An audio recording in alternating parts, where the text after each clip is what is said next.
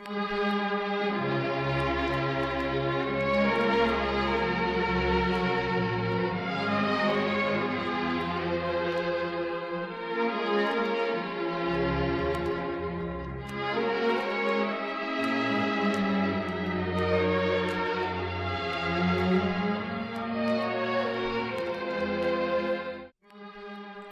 បងប្អូនខ្មែរយើងដឹងទេថា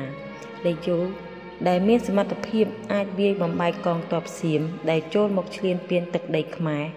នៅក្នុងរជ្ជកាលសម្ដេចព្រះបាទជ័យជេស្តាហើយតេជោដែលមានសមត្ថភាពម្នាក់នោះ គឺជាតេជោយ៉តដូច្នេះដើម្បីឲ្យកាន់តែជ្រាបច្បាស់សូមអញ្ជើញទៅទស្សនាទាំងអស់គ្នា thank you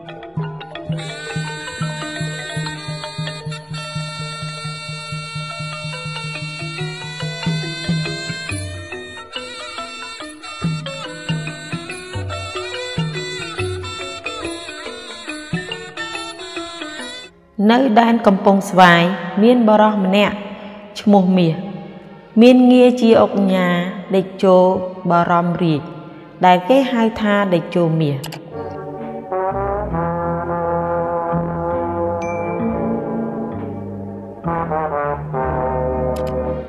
លោកមានភរិយាឈ្មោះស្រែន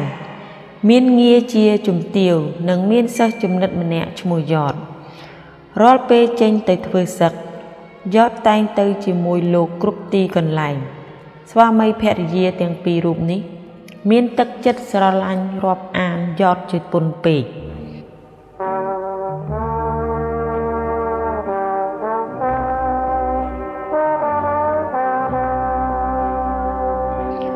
យត់ជាកូនជនជាតិភៀតតិចកំព្រីឪពុកម្ដាយដើររស័ព្ទព្រាត់សែងត្រែង ត្រូវអ្នកផងទាំងពួង គេមើងងាយមើលថោកហៅថាកូនភ្នង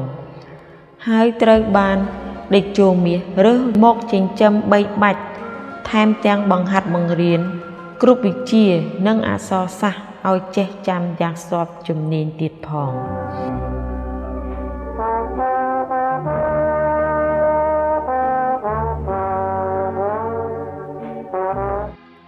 មុនពេលចេញធ្វើសឹកសង្គ្រាម ដេកជោមាសតែងឲ្យយត់រៀបចំកងទ័ពឲ្យបាន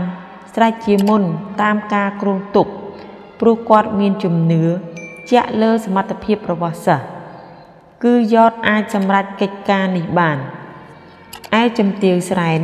ជាភរិយាដ៏ឧត្តមពេលដឹងថាស្វាមីត្រូវទទួលព្រះរាជបញ្ជាទៅបង្ក្រាបសត្រូវនៅសមរភូមិនោះ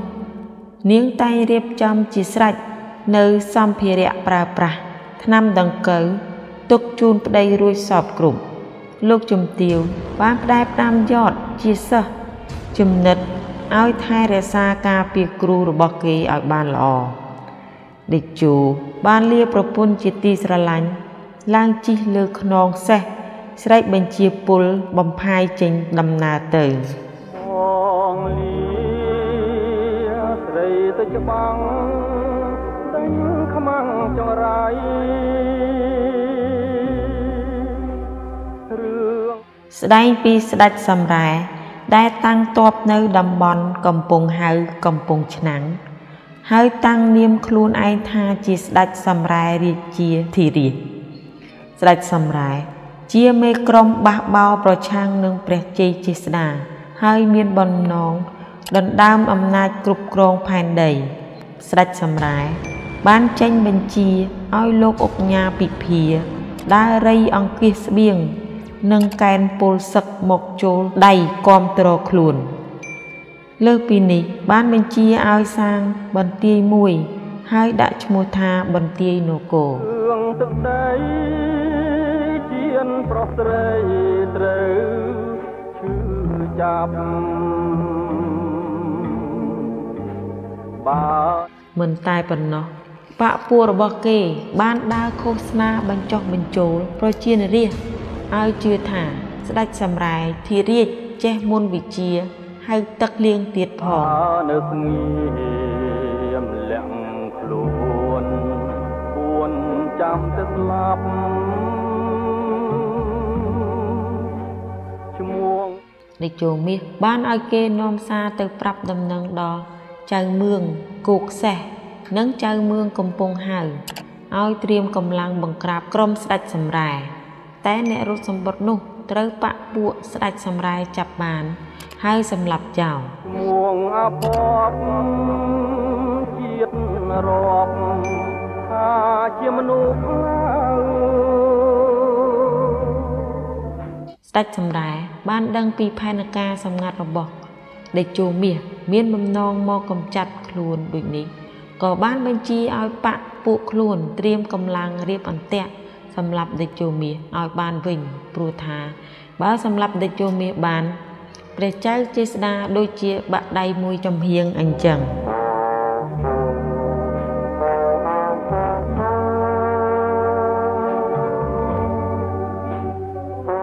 ដោយមិនបានដឹងថាផែនការខ្លួនត្រូវគេបំផ្លាញអស់ដេជោមាសនិងយ៉ត បានដឹកនាំពលសឹកប្រមាណជា200នាក់ប៉ុណ្ណោះព្រោះសំអាងលើតបជំនួយ របស់ចៅមឿងទាំងពីរ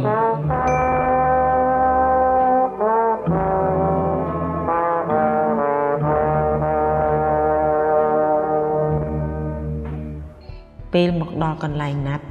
ជួបបាយជាប្រទេសនឹងស្ដេចសម្រែរងចាំទៅវិញពេលនេះដេជោមាសបានប្រាប់ទៅយត់ថា ផែនការរបស់យើងត្រូវរលាយអស់ហើយយើងចូលក្នុងអន្ទាក់ស្ដេចសម្រែទៀត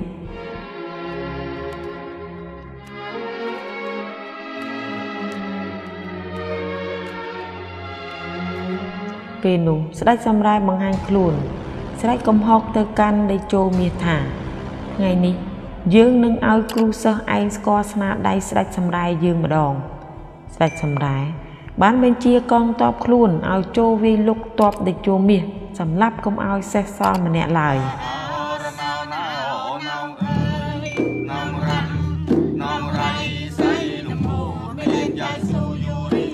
ក្នុងការប្រយុទ្ធកងទ័ពដេជោមាសត្រូវទ័ពរបស់ស្ដេចសម្រែកាប់សម្លាប់អស់ជាច្រើនអ្នកមានទាំងរបួសក៏ច្រើនដែរឯអ្នកខ្លះរត់គេចបាត់អស់ដោយមើលឃើញស្ថានភាព កាន់តែគ្រោះថ្នាក់យ៉តបានរំដោះខ្លួននាំគ្រូរត់គេចរហូតដល់ច្រកភ្នំមួយ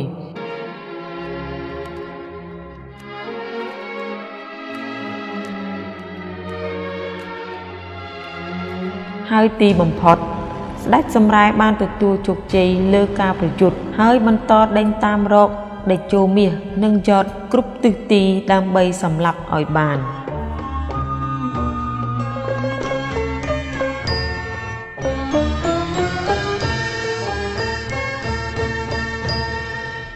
ពេលដេញតនដេជោមាសស្ដេចសម្រែបានពោលពាក្យប្រមាថមើងងាយជាច្រើន ហើយដកដាវបញ្ចេញស្នៀតវាយប្រហារមកលើដេជោមាសយ៉ាងសាហាវដោយការធ្វេសប្រហែសពេលប្រយុទ្ធដេជោមាសផុងជើងក្នុងរណ្ដៅបណ្ដាឲ្យស្ដេចសម្រែហក់មកដាល់ចំដើមទ្រូងមួយដៃហើយយាអាវុធបំរុងយកជីវិត តែត្រូវយត់កាប់រងបណ្ដាឲ្យដាវដាច់សម្រែបាក់ ហើយយត់បាននាំគ្រូរត់ទៅជួបនឹងតបចៅមឿងទាំងពីរបានរួចជីវិតពីកំដាប់ដៃស្ដេចសម្រែទៅ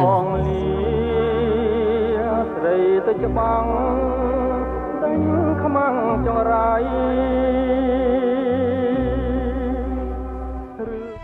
ក្រោយពីធ្វើសង្គ្រាមបរាជ័យជាមួយស្ដេចសម្រែមកដេជោមាសតែងអង្គុយសញ្ជឹកសញ្ជឹងមិននិយាយស្ដីអ្វីឡើយ ចិត្តពោពេញដោយទុក្ខកង្វល់ពីប្រទេសជាតិគាត់នឹកទៅចិត្តចាញ់ដៃសត្រូវស្ទើរបាត់ជីវិត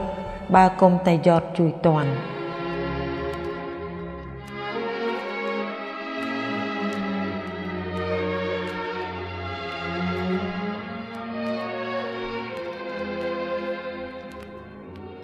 ជំទាវស្រែនព្រួយបារម្ភពីសុខភាពប្តីយ៉ាងខ្លាំង ទើបនាងអង្វរសូមឲ្យតេជោមាសប្រាប់ពីមូលហេតុ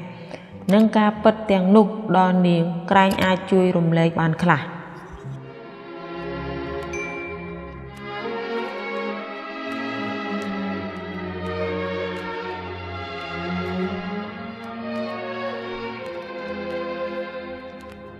ឃើញប្រពន្ធនិយាយបែបនេះដែលជោមាសបាននិយាយការពិត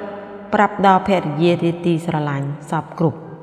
ទើបជំទាវស្រែនបានសុំការអនុញ្ញាតពីស្វាមី ដើម្បីធានាខ្លួនដោះស្រាយបញ្ហានេះឲ្យទាល់តែបាន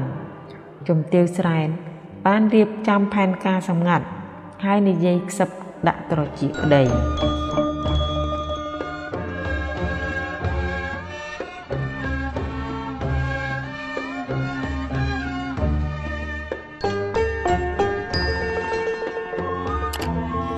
លែងពីស្ដេចសម្រែពេលដឹងថាជំទាវស្រែនលែងប្តីព្រះអង្គមានព្រះតីត្រេកអរណាស់គឺចង់បានជំទាវស្រែនមកធ្វើជាមហេសីភ្លាមភ្លាមព្រះអង្គបានហៅលោកអុកញ៉ាពិភាមកស៊ើបសួរបន្ថែម ហើយទ្រង់បានដឹងការពិតថាជំទាវស្រែន បានឆ្លោះទាស់តែងនឹងដេជោមាសរហូតលែងលះគ្នាហើយចែកទ្រព្យសម្បត្តិរៀងរៀងខ្លួនបរៈឯណាបរៃមិន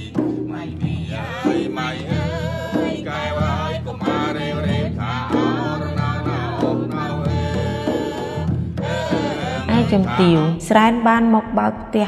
លក់ត្រីងៀតនិងផ្ទះលក់គ្រឿងអាវុធនៅផ្សារកំពង់ហាងមែនស្ដេចសម្រែបានបញ្ជាឲ្យលោកអុកញ៉ាវិភា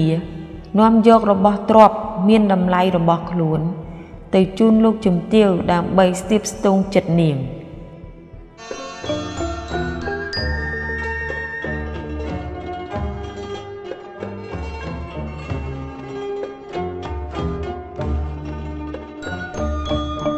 ក្រោយពេលចែកផ្លូវគ្នាជាមួយដេចជួមាសរួចមកជំទាវស្រែន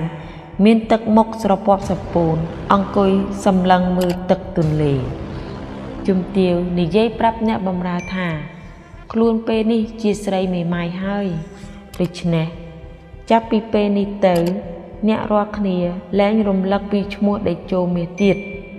ហើយពេលដែលពលសឹកដេជោមាសមកទិញសម្ភារៈនៅផ្សារកន្លែងហាងយើងមិនត្រូវលក់ឲ្យទេ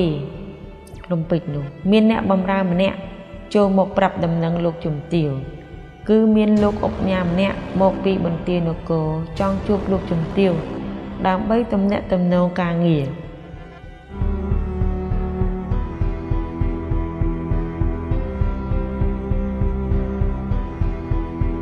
មន្ត្រីនោះគឺអុកញ៉ាពិភាលោកមកតាមការបញ្ជារបស់ស្ដេចសំរែដើម្បីនាំយកអំណោយមានតម្លៃជាច្រើនមកជូនលោកជំទាវហើយលោកជំទាវប្រាប់ថាព្រះអង្គមានបំណងចង់រាប់រកលោកជំទាវជំទាវបានទទួលចំនួននោះទុក ហើយបានថ្លែងអំណរព្រះគុណដល់ស្ដេចសម្រាហើយសន្យាថានឹងឲ្យអ្នកបម្រើយកចំណីអាហារពិសេសទៅជូនព្រះអង្គវិញដែរ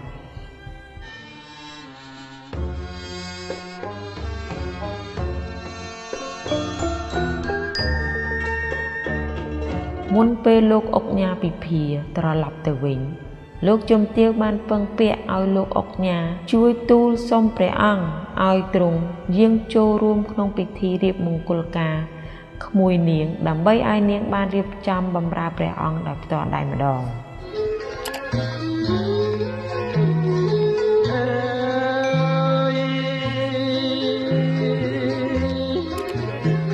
តាប្រងបងខុសអ្វី ជំទាវស្រែន បានរៀបចំគម្រោងផែនការជាស្រេចថ្ងៃពិធីមង្គលការបានចូលមកដល់មានភ្ញៀវចូលរួមយ៉ាងកកកពិសេសគឺស្ដេចសម្រែនិងបពពួកក៏មកចូលរួមដែរលោកជំទាវបានសម្ដែងនៅជាវៈទទួលព្រះអង្គយ៉ាងសមរម្យដោយរូបសម្រស់ជំទាវស្រែនស្អាតនោះធ្វើឲ្យស្ដេចសម្រែធ្លាក់ក្នុងអន្លង់ស្នេហ៍មួយរំពេច គឺព្រះអង្គពោលតិចតិចជាប់មាត់ថាជំទាវស្រែនស្អាតណាស់លោកជំទាវបានទទួលព្រះអង្គដោយផ្ទាល់ដៃធ្វើឲ្យស្ដេចសម្រែមានព្រះតីរំភើបសប្បាយជាខ្លាំងរហូតដល់សារភាពស្នេហ៍សំសេចក្តីស្រឡាញ់ពីជំទាវស្រែន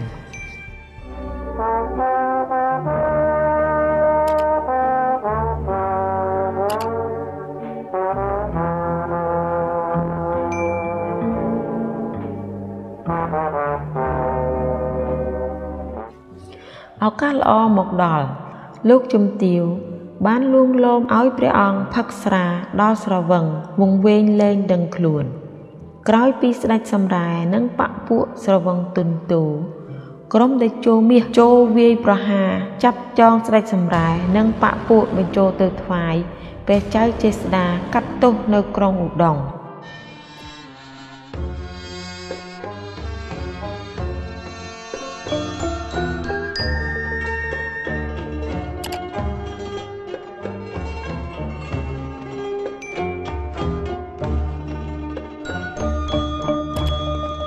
ទីបំផុតស្ដេចសម្រែត្រូវទទួលទោសប្រហារជីវិត ការទទួលជោគជ័យលើស្ដេចសម្រែលើកនេះ គឺដោយសារស្នាដៃជំទាវស្រែនដែលជោមាសមានទឹកមុខសប្បាយរីករាយយ៉ាងខ្លាំងដែលឃើញប្រពន្ធខ្លួន មានសមត្ថភាពឆ្លៀវវៃចេះជួយដោះស្រាយបញ្ហាប្រទេសជាតិជំនួសស្វាមីដោយពាក្យចាស់លោកពោលថា សំណាបយោងដីស្រីយោងបុរស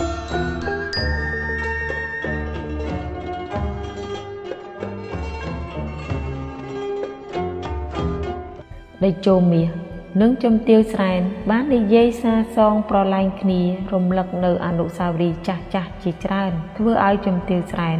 មានអារម្មណ៍ប្លែកក្នុងចិត្តទន្ទឹងនឹងការសប្បាយរីករាយនេះដេជោមាសស្រាប់តែមានអារម្មណ៍ឈឺចុកចាប់នៅក្នុងដើមទ្រូងយ៉ាងខ្លាំងហើយក្អួតឈាមមកយ៉ាងច្រើនធ្វើឲ្យជំទាវស្រែន មានភាពតក់ស្លុតស្រែកហៅយត់នឹងអ្នកដតីឲ្យជួយ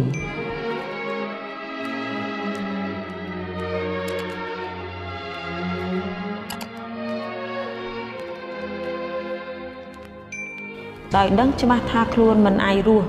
ដេជោមាសបានហៅយត់ជាសិស្សចំណិតមកចិត្ត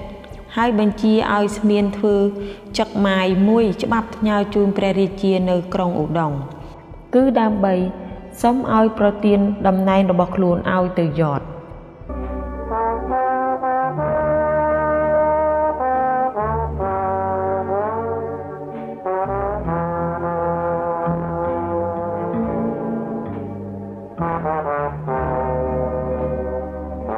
យត់មានបំណងចង់ព្យាបាលលោកគ្រូណាស់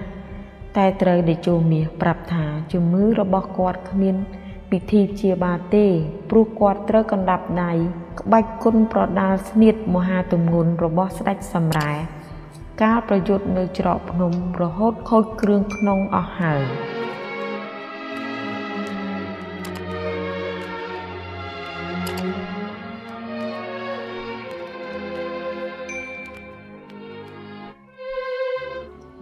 ក្រោយពីចុះហត្ថលេខាលើបណ្ដាំផ្ញើស្រេចហើយ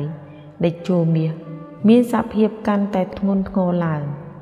ភ្នែករបស់គាត់ក្រឡាប់មាត់ស្រែករកយត់រកប្រពន្ធទាំងក្តីស្អកស្អាលរហូតដង្ហើមចុងក្រោយ